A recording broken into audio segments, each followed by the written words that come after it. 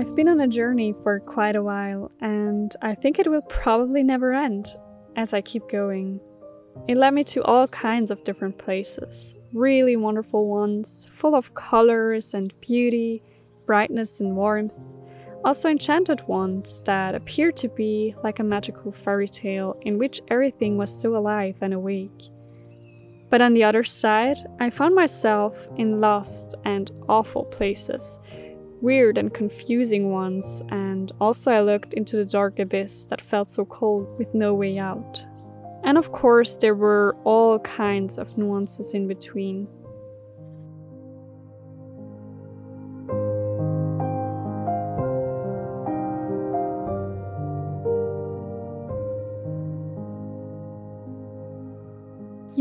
Painting reveals very interesting aspects, especially painting a portrait, but actually, it's not all about what I paint, of course, that plays an important role, but besides, it's the craft itself that is very personal to me, because somehow it's natural to me.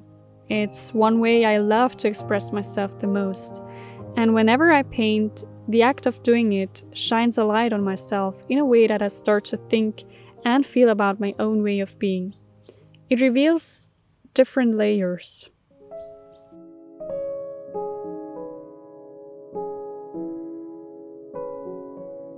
So it all started there. After stopping doing art for a long time, I rediscovered painting and it was so wonderful, almost indescribable. It lit that spark within me that I can feel every time I'm painting pure joy and passion. It felt like I found myself again, my natural way of being, my true essence. There it was, exposed without a mask. I saw light within the oblivious darkness that I was for so long without even noticing it, and suddenly the path occurred in front of me. So I began embarking on that path, a journey of finding joy. Little did I know what would await me once I took the first step.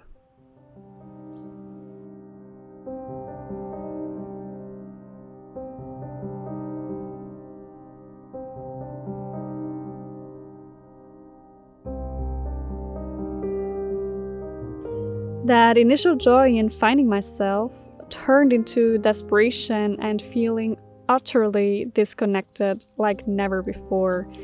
That clarity and insights that I gained turned into confusion and being lost. This wonderful, gracious light that was within and around me got sucked into a dark hole that obliterated everything that wasn't alike. And it seemed like the more I walked this path of finding joy and light, the more I was confronted with darkness and confusion.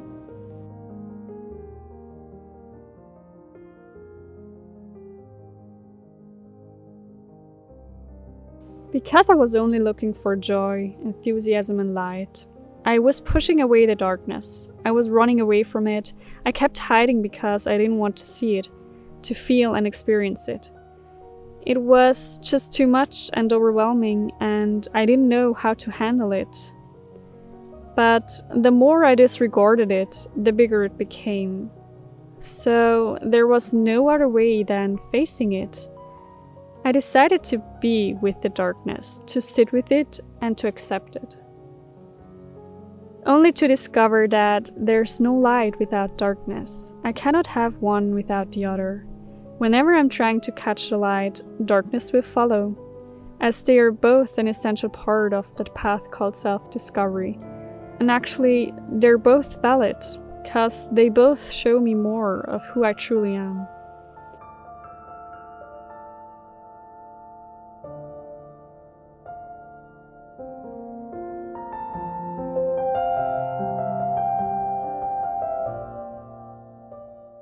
Over time, this path of finding joy became a path of finding myself, or shall I rather say, being myself. And this includes all of it light as well as darkness.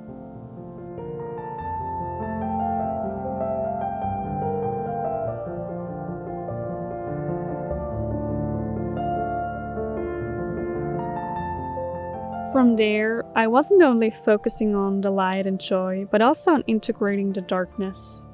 Instead of fearing the dark, I welcomed it, and I began to dance with the shadows by consciously shining light on them.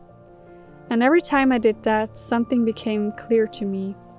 I started to pay attention to them whenever they showed up, and I listened what they had to say. And what I found was that each shadow brought to surface a part of mine that I wasn't aware of, that was hidden in my subconscious a part that was in pain that just wanted to be seen and heard. So I allowed myself to process that pain without getting lost in it, and I felt relief. And I was grateful for the wisdom that it held.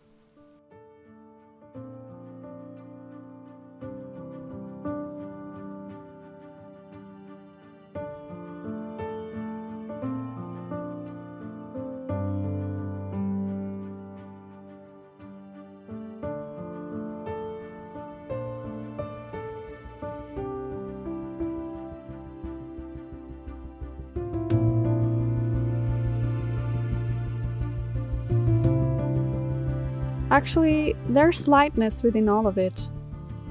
When I want to bring something new to my life, in this case joy, along the journey, all the parts that prevent me from living that new vision will inevitably come to surface, as they are not aligned anymore with the vision, so they will be released, and in this way make room for the new to enter.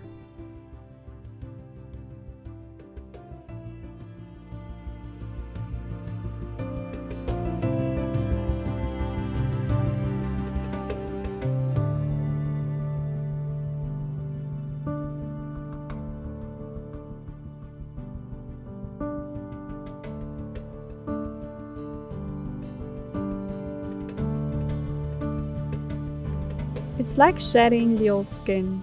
It's like the fundamental cycle of nature when the trees lose their leaves in fall and rest during winter in order to start a new chapter in spring. And once I understood and implemented that principle, it became easier.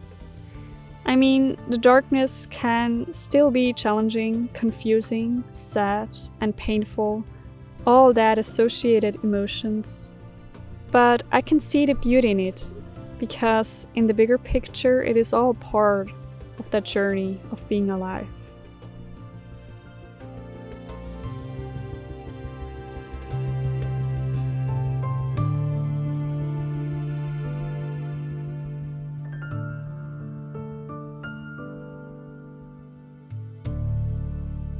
Thank you so much for being here and watching this video. I hope that gave you some inspiration for your own journey. I wish you a wonderful day and I will see you in my next video.